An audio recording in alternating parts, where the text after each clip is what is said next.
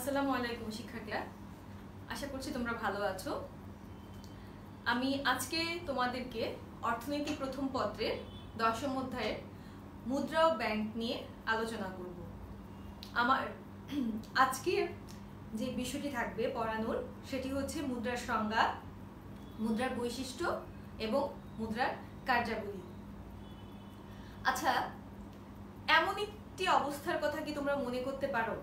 যে যদি এমন হতো, আমরা যত সহজে এখন আমার কিছু একটা প্রয়োজন হলে সেই জিনিসটা পেয়ে যাই পেয়ে যাই যদি আমার কাছে কি থাকে? মুদ্রা বা টাকা থাকে, তাই তো? কিন্তু এমন একটা সময় ছিল যখন অত সহজে এই টাকা বা মুদ্রা কিন্তু খুব সহজেই পাওয়া যায়নি। এটা ধীরে ধীরে বিবর্তনের মাধ্যমেই কিন্তু এসেছে। এক সময় দ্রব্য বিনিময় করতো মানুষ, একটা কিছু পাওয়ার জন্য। এবং সেটাকে বলা হতো দ্রব্য বিনিময় প্রথা। দ্রব্য বিনিময় প্রথার সময় কি হতো? যে একটা কিছু বিনিময়ে আরেকটা কিছু পেতে হলে তখন একটা দ্রব্যের বিনিময়ে আরেকটা দ্রব্যকে দেয়া হতো। অর্থাৎ যার কাছ থেকে সে দ্রব্যটা নিচ্ছে, তাকে সে আরেকটি দ্রব্য দিচ্ছে। এক্ষেত্রে কি সমস্যাটা দেখা দিল? সমস্যাটা দেখা দিল এরকম যে একজনের মাংস প্রয়োজন, আরেকজনের হচ্ছে চালের প্রয়োজন। এখন ধরো এক কেজির পরিমাণ সম পরিমাণ চাল। সে আসলে তখন জানে না পরিমাণটা কতটুকু। তার আন্দাজে একটা পরিমাণ চাল নিল, এক টুকরি চাল। সেই চালটার পরিবর্তে সে যখন নাকি মাংস কিনতে যাবে, যার কাছে একটা গরু আছে, তাকে কিন্তু আস্ত গরুটা যদি সে দিয়ে দেয়, কিংবা সেই গরুটাকে যদি সে কেটে এটাকে মানে তার একটা আন্দাজ মতো ভাগ করে, তাহলে কিন্তু এখানে একটা বিভাজ্যতা বা বন্টনের একটা সমস্যা দেখা যেত। যে আসলে মানে চালটা কি মাংসের সঙ্গে পরিবর্তনীয় কি না কিন্তু তখন যেহেতু উপায় ছিল না এরকম, অনেক কিছুই করতে হতো। কখনো কখনো দেখা যেত যে প্রাচীনকালে মিশরও এরকম হয়েছে যে গাছের পাতা তারা বিনিময়ের মাধ্যম হিসেবে ব্যবহার করত। প্রাচীন ভারতে কড়ি ব্যবহার করা হতো। আফ্রিকার জঙ্গলে এমন ধরনের কিছু অমূল্য মানে দুষ্প্রাপ্য কিছু গাছের পাতা আছে, যে পাতাগুলো হচ্ছে তারা বিনিময়ের মাধ্যম হিসেবে ব্যবহার করতো। অর্থাৎ একটা দ্রব্য কেনার জন্য তারা সেই পাতাটা দিত এবং সে পাতার বিনিময়ে হচ্ছে সে দ্রব্যটা ওরা নিয়ে যেত। ধীরে ধীরে দেখা গেল যে এই যে ব্যাপারগুলো, এর থেকে একটা সমস্যা দেখা দিচ্ছে। সবচেয়ে বড় সমস্যাটা হচ্ছে বিভাজ্যতা বা বন্টন। মানে কীভাবে সেটা ভাগ করবে? এরপরে হচ্ছে যে পরিমাপ করা, যে পরিমাপটা কেমন করে হবে? আমি যে একটা দ্রব্য নিব, এর পরিবর্তে যে আরেকটা দ্রব্য দিব, সেটার পরিমাণটা কতটুকু হবে? তোমরা ভেবো না যে মানুষের এত বুদ্ধি কি তখন ছিল? না আসলেই মানুষের বুদ্ধি ছিল। মানুষ সবসময় বুদ্ধিদীপ্ত মানুষ। এবং আমি সবসময় তোমাদেরকে ক্লাসে বলি যে মানুষ হচ্ছে রেশনাল বিং মানে যৌক্তিক প্রাণী। এবং এই যৌক্তিক প্রাণী দেখেই আমরা আশরাফুল মাখলুকাত এবং সৃষ্টির সেরা জীব। এবং আমরা এই এজন্যেই যখনই কোনো একটা ঘটনা ঘটে, তখন সেটার কারণ আমরা খুঁজে বের করার চেষ্টা করি। এবং এরই ফলশ্রুতিতে দেখা গেল যে ইতিহাস পর্যালোচনা করে দেখা যায় যে বিবর্তনের মাধ্যমে ধীরে ধীরে এমন একটা পর্যায়ে আসলো যে হচ্ছে মানুষ চিন্তা ভাবনা শুরু করে দিল যে কি এমন জিনিস বিনিময়ের মাধ্যম হিসেবে ব্যবহার করা যায়, যা সবার কাছে গ্রহণযোগ্য হবে। খুব সহজেই সেই জিনিসটা দিয়ে অন্য একটা দ্রব্য নেওয়া যাবে। এবং এরই ফলশ্রুতিতে এগারোশো শতকের দিকে চীনে চীনারা কি করল? তারা তামার রেপ্লিকা মানে তামা দিয়ে একটু ডিজাইন করে কিছু মুদ্রার মতো করে বলল ধাতব জিনিস। সেগুলোর বিনিময়ে তারা দ্রব্য কেনা বেচা শুরু করল। ষোলোশো একষট্টি খ্রিস্টাব্দে আমরা এখন যে কাগজি মুদ্রাটা ব্যবহার করি, সেই কাগজি মুদ্রাটার প্রচলন শুরু হলো কোথায়? সুইডেনে। এবং পরবর্তীতে এই যে এখন আমরা দেখো কত ধরনের আকার আকৃতি পরিবর্তন হচ্ছে, আমরা খুব সহজেই কিন্তু মুদ্রা পেয়ে গেছি। সেটা ধাতব মুদ্রা আর কাগজি মুদ্রা, যেটা নাকি আমরা টাকা বলি বাংলাদেশে। বিভিন্ন দেশে কিন্তু একটা স্বীকৃত মুদ্রা থাকে বা স্বীকৃত কাগজি মুদ্রা থাকে, যেটাকে হচ্ছে কি রাষ্ট্র তার আইন দ্বারা সেটাকে নির্দিষ্ট করে দেয়। এবং এটার একটা অপর নাম আছে, সেটার একটা অন্য নাম আছে, সেই নামটা হচ্ছে বিহিত মুদ্রা। অর্থাৎ যেটাকে একেবারে সবার জন্যই গ্রহণযোগ্য করে দেয়। ভারতে হচ্ছে রুপি, আমাদের দেশে টাকা, তাই তো?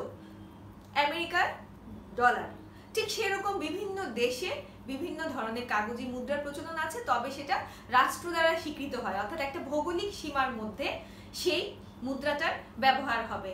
ভৌগোলিক সীমা কথাটা এই কারণে উল্লেখ করলাম আমি ধরো আমাদের যে টাকা বা আমাদের যে ধাতু মুদ্রাগুলো আছে যেটাকে অনেক সময় আমরা যদিও বাংলায় ধাতু মুদ্রা বলছি, একটু কেমন লাগছে? তোমরা অনেকেই কয়েন শুনে শুনে অভ্যস্ত। তো এখন একটা কিছু দ্রব্য কিনতে গিয়ে তুমি হয়তো বাংলাদেশের সীমানার ভেতরে কয়েন দিয়েও কিনতে পারছ হ্যাঁ? কাগজে যে আমাদের টাকা দিয়ে খুব সহজে কিনতে পারছ। কিন্তু এখন তোমাকে মনে করো তোমার কোনো এক আত্মীয় বেড়াতে এসে তোমাকে ভারতীয় কিছু রুপি দিল। তুমি তোমার পাশের দোকানে গিয়ে, খুব ছোটখাটো একটা তোমার প্রয়োজন, তোমার একটা কলম লাগল তুমি পাশের দোকানে গিয়ে সেই রুপিটা দিলা। দিয়ে বললা যে হচ্ছে কি আমাকে একটা কলম দেন। হয়তো বা এমনও হতে পারে সেই দশ রুপির মানে সেই রুপির মান লেখা আছে দশ, অর্থাৎ দশ রুপি। অথচ একটা কলমের দাম আমাদের দেশে, মনে করো সেই কলমটার দাম হচ্ছে পাঁচ টাকা। তুমি হয়তো বা ভাবছ যে এটা তো দশ রুপি। কিন্তু দোকানদার কিন্তু তোমাকে দশ রুপি দিয়ে একটা কলম দিবে না। কেন জানো?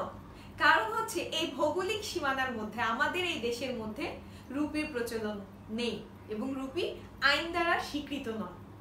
আবার তুমি যদি সিমিলার কাজটাই ভারতে গিয়ে করো, ভারতে গিয়ে তোমার কাছে যেই টাকা আছে, বাংলাদেশ থেকে তুমি টাকা এবং কয়েন নিয়ে গেলা অনেক, তুমি কিন্তু সেগুলো দিয়ে কিছুই কিনতে পারবে না। তোমাকে এটাকে কনভার্ট করতে হবে। কিসে? ওদের সেই রুপিতে তোমাকে কনভার্ট করে নিতে হবে। আবার আমাদের দেশে যখন এরকম বিদেশিরা আসে, তারা কিন্তু ডলার বা ইউরো অথবা রুপি অথবা পাউন্ড যাই নিয়ে আসুক অথবা যাই নিয়ে আসুক, সেটাকে বাংলাদেশে ঢুকেই কিন্তু এরা বাংলাদেশি টাকায় এটাকে পরিণত করে, রূপান্তর করে ফেলে। এর কারণ হচ্ছে, ওই যে বললাম ভৌগোলিক সীমানার মধ্যে এটাকে আইনগতভাবে সিদ্ধ করে দেওয়া হয় যে, এই ভৌগোলিক সীমানায় একমাত্র এই মুদ্রা কাগজি হোক অথবা ধাতব হোক এটি একমাত্র ব্যবহার করা যাবে। তাহলে কিছুটা ধারণা আমার মনে হয় এর মধ্যে তোমরা পেয়ে গেছো যে আসলে মুদ্রা তাহলে কি? আমি একটু আক্ষরিক সংজ্ঞা এবার একটু যাই।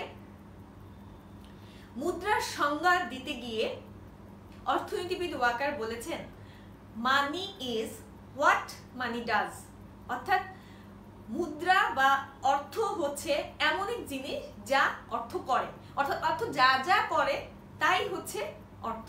Money is what money does তো এরই প্রেক্ষিতে যদি আমরা মুদ্রার সংজ্ঞাটিকে একটু বিশ্লেষণ করি, দেখো তো এগুলো পাওয়া যায় কিনা মুদ্রা হচ্ছে বিনিময়ের মাধ্যম, সঞ্চয়ের বাহন, মূল্যের পরিমাপক। বিনিময়ের মাধ্যম কারণ এটা খুব সহজেই একটা দ্রব্য কেনা বেচার ক্ষেত্রে খুব সহজে এটা বিনিময়ের মাধ্যম হিসেবে কাজ করে। সঞ্চয়ের ভান্ডার খুব সহজেই মুদ্রা সঞ্চয় করা যায়। সঞ্চয় করা খুব সহজ, এটা পচেও যায় না। মূল্যের পরিমাপক। আমি যেই দ্রব্যটা আমি নিব, সেই দ্রব্যটার পরিমাণটাকে আমি কীভাবে নির্দিষ্ট করি? সেটা হচ্ছে মুদ্রা বা অর্থ দিয়ে কিন্তু পরিমাপ করা যায় খুব সহজে মূল্যের পরিমাপক হিসেবে কাজ করে। তার মানে মুদ্রার সংজ্ঞা যখন আমরা লিখব, অবশ্যই সেখানে থাকতে হবে এরকম যে মুদ্রা হচ্ছে এমন একটি বিষয় বা এমন একটি জিনিস যা বিনিময়ের মাধ্যম সঞ্চয়ের ভান্ডার এবং মূল্যের পরিমাপক হিসেবে কাজ করবে। ঠিক আছে? আচ্ছা আমাদের পরবর্তী যে কাজ, সেটি হচ্ছে মুদ্রার কার্যাবলী নিয়ে আলোচনা করা। মুদ্রার কার্যাবলী কি? একটা খুব সুন্দর ইংরেজি একটি লাইন আছে, যে লাইনটি দিয়ে এত চমৎকার ভাবে মুদ্রার কার্যাবলী বর্ণনা করা আছে যে তোমরা যদি সেটাকে মুখস্থ করে ফেলো, তাহলে তোমাদের মুদ্রার কার্যাবলী নিয়ে লিখে মানে পরীক্ষায় আনসার করাটা খুব সহজ হয়ে যাবে। সেটা কি? খেয়াল করো money is money is a matter of function four money is a matter of function four তার মানে অর্থ হচ্ছে এমন একটি জিনিস বা এমন একটি বিষয় যা ফাংশন ফোর চারটি কাজ করে। সেটা কি? A medium a measuring a standard a store medium হচ্ছে মাধ্যম মেজার মানে হচ্ছে পরিমাপক মেজারিং স্ট্যান্ডার্ড মানে হচ্ছে একটা মান এবং স্টোর হচ্ছে ভান্ডার। তার মানে হচ্ছে বিনিময়ের মাধ্যম, মূল্যের পরিমাপক, স্ট্যান্ডার্ড বা মান, একটা মান ধরে রাখে যে এই মানটা যে মনে করো একশো টাকা একশো টাকা দিয়ে একটা দ্রব্য তুমি কিনতে গেলা। তাহলে ওই দ্রব্যটার মানটাকে ধরে নেওয়া হচ্ছে যে এই দ্রব্যটা একশো টাকা মানের। আর ভান্ডার মানে হচ্ছে ওই যে বললাম, সঞ্চয়ের ভান্ডার হিসেবে কাজ করে। যদি দ্রব্যটাকে আমরা সঞ্চয় করি, এমন কিছু দ্রব্য আছে যেগুলো পচনশীল, সেই দ্রব্য কিন্তু বেশি দিন সঞ্চয় করে রাখা যায় না। কিন্তু মুদ্রার কথা চিন্তা করে দেখো, মুদ্রা বা কাগজি মুদ্রা যদি হয়, যদি আমরা টাকার কথাও চিন্তা করি, সেটা কিন্তু আমরা অনেক দিন রেখে দিতে পারি। সেটা কিন্তু নষ্ট হয় না সহজে। এবং এই কারণেই দেখা যেত যে আমাদের ছোটবেলায় আমরা মাটির ব্যাংকে টাকা জমাতাম। তোমরা অনেকেই হয়তো বা এটা করেছ কিনা মানে বুঝতে পারছি না। কারণ হচ্ছে তোমরা তো এখন এই শতকের ছাত্রী। তারপরে তোমরা অনেকে হয়তো বা দেখেছ সেটার প্রচলন এখন অতটা বেশি নেই। তারপর অনেকে হয়তো বা শোকেসে সেটাকে সাজিয়ে রাখো। কিন্তু আমরা হচ্ছে যখনই আমাদের ঈদ বা অন্যান্য সময়ে যখন আমরা গিফট হিসেবে টাকা পেতাম বা মুদ্রা পেতাম মানে কয়েন পেতাম, তখন সেগুলো আমরা কোথায় রেখে দিতাম? আমরা এই মাটির ব্যাংকে জমা রাখতাম। এবং পরবর্তীতে যখন আমার প্রয়োজন হতো বা ইচ্ছে করতো, তখন আমি সেটাকে ভেঙে সেগুলো কালেক্ট করতাম। এবং দেখা যেত যে এরকম প্রচলিত গল্প আমরা একদম খুব ছোটবেলায় আমরা মনে করতাম যে সেখান থেকে মনে হয় নতুন নতুন মানে টাকা বেড়ে যাবে। আসলে বেড়ে যেত না সেমই থাকতো। তখন একটু মানে ছোটবেলায় সবার একটা আগ্রহ থাকে, সবাই হয়তো ভাবে যে হয়তো বা এটার মধ্যে রাখার কারণে একটা সময় বের হয়ে আসছে সেটা। কিন্তু আসলে তা না, সেটা হচ্ছে গিয়ে ওই মাটির ব্যাংকটাতে থাকার কারণে সহজেই কেউ এটা ভাঙতে চাইতো না এবং সেখান থেকে টাকাটা বের করে নিতে চাইতো না। তো এই জন্য যখনই প্রয়োজন হতো একসঙ্গে অনেকগুলো টাকা বা মুদ্রা যখন পেত, তখন সবার খুব আনন্দ হতো। যে ভাবতো যে অনেক টাকা জমে গেছে, মনে হয় টাকা গাছ হয়েছে কিংবা এটা ভেতর থেকে জমা হয়েছে মানে বেড়ে মানে বেড়ে গেছে। তো যাই হোক এই কথাটা এই কারণে শেয়ার করলাম যে হচ্ছে গিয়ে ওই যে বললাম ভান্ডার সঞ্চয়ের ভান্ডার হিসেবে কিন্তু কাজ করে। খুব সহজে এটাকে সঞ্চয় করে রাখা যায়। এখন আমি এই জিনিসটাকে যদি অন্যভাবে একটু ব্যাখ্যা করে যে মুদ্রার কার্যাবলী আসলে তাহলে কীরকম হতে পারে বা কোন ধরনের কার্যাবলী? মুদ্রার প্রধানত, মুদ্রা প্রধানত তিন ধরনের কার্যাবলী রয়েছে। একটা বাণিজ্যিক, একটা সামাজিক, একটা হচ্ছে মনস্তাত্ত্বিক। বাণিজ্যিক কার্যাবলীগুলো কি কি? আচ্ছা বাণিজ্যিক যে কার্যাবলীগুলো আছে, সেগুলো হচ্ছে বিনিময়ের মাধ্যম, মূল্যের পরিমাপক, স্থগিত লেনদেনের মান, সঞ্চয়ের বাহন, মূল্য স্থানান্তরের বাহন, ঋণের ভিত্তি, তারল্যের মান এবং বন্টনের কাজ। আচ্ছা একটা একটা করে একটু বিশ্লেষণ করি। বিনিময়ের মাধ্যমে এর আগেই বলেছি যে সেটা বিনিময়ের মাধ্যম হিসেবে মুদ্রা খুব সহজে ব্যবহার করা যায়। মূল্যের পরিমাপক, সেটাও একটু আগে বলেছি। স্থগিত লেনদেনের মান। এই শব্দগুলো একটু খেয়াল করো। ভবিষ্যতের দেনা পাওনা মেটাতে মুদ্রা খুব সহজেই ব্যবহার করা যায়, অর্থাৎ অর্থ কীভাবে যে তুমি এখন যদি কোনো একটা মানুষের কাছ থেকে দশ হাজার টাকা লোন নাও, পরবর্তীতে তুমি যখন একটা লোনটাকে শোধ করবে, তখন তুমি কিন্তু দশ হাজার টাকা দিয়ে শোধ করবে। তার মানে হচ্ছে টাকা দিয়ে যদি তুমি ওনার কাছে যদি টাকা নিয়ে থাকো, তাহলে তুমি তুমি কিন্তু টাকা দিয়ে সেটা শোধ করতে পারবে। অর্থাৎ ভবিষ্যতে দেনা পাওনা মেটাতে এটা খুব সহজেই কাজ করা যায়, স্থগিত লেনদেনের মান। অর্থাৎ সেটাকে, লেনদেনটা যদি স্থগিত হয়ে থাকে, কিন্তু মানটাকে ধরে রাখে। সঞ্চয়ের বাহন। খুব সহজেই সঞ্চয় করা যায়। মূল্য স্থানান্তরের বাহন। একটা দ্রব্য এক জায়গা থেকে বিক্রি করে অন্য জায়গায় যদি সেই টাকাটা দিয়ে অন্য একটা দ্রব্য কেনা যায়, তাহলে সেই মূল্যটা কিন্তু খুব সহজেই স্থানান্তর করা যায়। ঋণের ভিত্তি। ঋণের ভিত্তি হচ্ছে যে ঋণগুলো নেওয়া হয়। যেমন বাণিজ্যিক ব্যাংক। বাণিজ্যিক ব্যাংকের মাধ্যমে ব্যবসা বাণিজ্যের জন্য ব্যবসায়ীরা ঋণ নিয়ে থাকে। সেই ঋণগুলো কিন্তু কি হয়?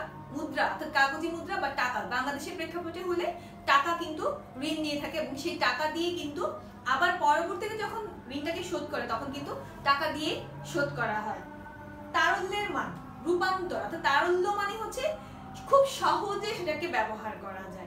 তার মানে হচ্ছে এটা রূপান্তরের মাধ্যমে, তুমি যেই প্রক্রিয়াতেই ব্যবহার করতে যাও না কেন, মুদ্রা কিন্তু খুব সহজেই ব্যবহার করা যায়। যেটাকে ইংরেজিতে বলা হয় লিকুইডিটি খুব মানে সহজ সেটা ব্যবহার করা। বন্টনের কাজ। খেয়াল করে দেখো, উৎপাদনের চারটি উপকরণ রয়েছে। ভূমি, শ্রম, মূলধন এবং সংগঠন। ভূমি ব্যবহারের জন্য আমরা মালিককে কি দেই? খাজনা। শ্রম ব্যবহারের জন্য শ্রমিককে দেই কি? শ্রম যে ব্যবহার করে জন্য শ্রমিককে আমরা কি দিই? মজুরি। মূলধন ব্যবহারের জন্য মূলধনের মালিককে দেই সুদ।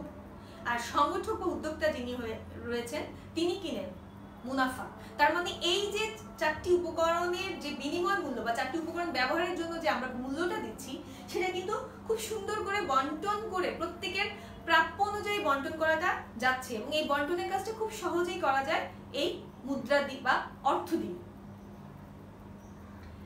পরবর্তী যে পয়েন্ট সেটা হচ্ছে সামাজিক যে কার্যাবলীগুলো। এতক্ষণ আমি যা বলেছি সেটা হচ্ছে বাণিজ্যিক কার্যাবলী। সামাজিক কার্যাবলীর ক্ষেত্রে দুটো ব্যাপার আছে। একটা হচ্ছে মর্যাদা আর নিশ্চয়তার প্রতীক আর একটি হচ্ছে সামাজিক সম্পর্ক রাখা। মর্যাদা ও নিশ্চয়তার প্রতীক, সমাজে এমন একটি শ্রেণি আছে, মনে করো যে ধনী একটা শ্রেণি। সেই ধনী শ্রেণীকে সমাজের অপেক্ষাকৃত গরিব বা যারা অনেকটাই হচ্ছে গিয়ে সেই ধনীর তুলনায় গরিব তারা কি করে? তারা সবসময় মনে করে যে ধনী শ্রেণি মনে অনেক বেশি সম্মান নিয়ে থাকে। এই কারণে তারা দেখা যায় যে সামাজিক জীবনে ধনীদেরকে বেশি সম্মান দিয়ে থাকে এবং একটা মর্যাদা দিয়ে রাখে। এবং নিশ্চয়তার প্রতীক নিশ্চয়তার প্রতীক মানে হচ্ছে গিয়ে অনেকটা একটা মানসিক একটা ব্যাপার যে হচ্ছে গিয়ে মনে করে যে আমার ভবিষ্যৎ অনেকটাই নিরাপদ এবং নিশ্চিত থাকবে। এবং এই কারণেই কি করা যায় যে অনেকেই দেখা যায় যে টাকা জমাতে শুরু করে এবং এই কারণেই বলা হয় যে সামাজিক একটা প্রেক্ষাপটও কিন্তু সেখানে আছে। সামাজিক সম্পর্ক রাখা। আমাদের সামাজিক জীবনে আমরা সম্পর্কগুলোকে আরও সুন্দর রাখার জন্য বিভিন্ন অনুষ্ঠানে অংশগ্রহণ করি। যেমন বিয়ে, জন্মদিন, বিভিন্ন ধর্মীয় উৎসব। এসব ক্ষেত্রে দেখা যায় আমরা একে অপরকে উপহার দিয়ে থাকি। এসব উপহার যে উপহার সামগ্রীগুলো আমরা কিনে থাকি, সেই উপহার সামগ্রীগুলো কিন্তু আমরা অর্থের বিনিময়ে কিনে থাকি। অর্থাৎ এই সামাজিক সম্পর্ক রাখার ক্ষেত্রেও কিন্তু অর্থ একটা বিশাল ভূমিকা রাখছে। তার মানে হচ্ছে, আমি আজকে তোমাদের যে বিষয়গুলো নিয়ে আলোচনা করলাম, সেগুলো যদি একটু খেয়াল করে দেখো মুদ্রার সংজ্ঞা, সেই সংজ্ঞা থেকে কিছু বৈশিষ্ট্য এবং মুদ্রার কার্যাবলী কিন্তু আজকে আমি আলোচনা করেছি। তোমরা অবশ্যই বাড়িতে তোমাদের যে পাঠ্য বই রয়েছে, সেই বইয়ের সঙ্গে এগুলো একটু মিলিয়ে আয়ত্ত করার চেষ্টা করবে। এবং আমি যেহেতু মুদ্রা ব্যাংক এই চ্যাপ্টারটি একটি বড় চ্যাপ্টার এজন্য আমি আরও কিছু লেকচার এই এই চ্যাপ্টারটির উপর নিব। তো আশা করছি তোমরা আমার পাশে থাকবে, আবারও থাকবে এবং অবশ্যই স্বাস্থ্যবিধি মেনে চলবে এবং বাড়িতে পড়াশোনা করবে। আজকের মতো এখানেই, ধন্যবাদ।